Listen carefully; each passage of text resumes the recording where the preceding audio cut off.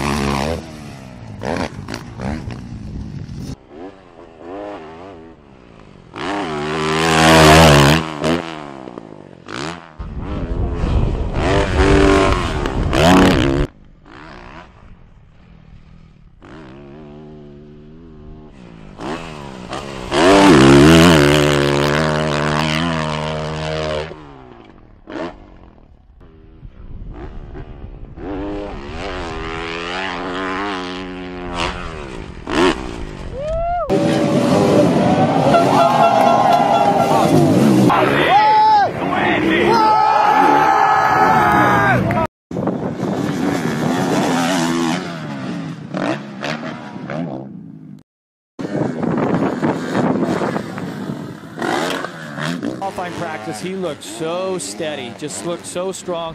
Oh, he's Whoa! jumping into it out. the jumping into the 12 pack. We haven't seen that since qualifying practice. Wow, that is un.